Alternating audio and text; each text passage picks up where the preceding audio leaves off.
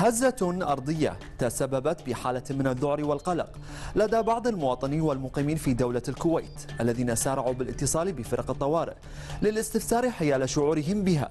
وحول هذا الحدث تفاعل المغردون الكويتيون عبر موقع تويتر اليوم مع هاشتاجات عدة حيث تداولوا تحت الهاشتاج خبر الهزة الأرضية التي ضربت منطقة كاكي في محافظة بوشهر جنوب إيران بقوة بلغت 5.9 درجة على مقياس رختر وبدورها وعبر حسابها الإلكتروني الرسمي على موقع تويتر. نشرت الإدارة العامة للإطفاء بيانا. أوضحت من خلاله أن مصدر الهزة الأرضية التي شعر بها بعض السكان في دولة الكويت. وتحديدا سكان المناطق الساحلية. حدثت نتيجة الزلزال الذي وقع بالقرب من مدينة بوشهر الإيرانية.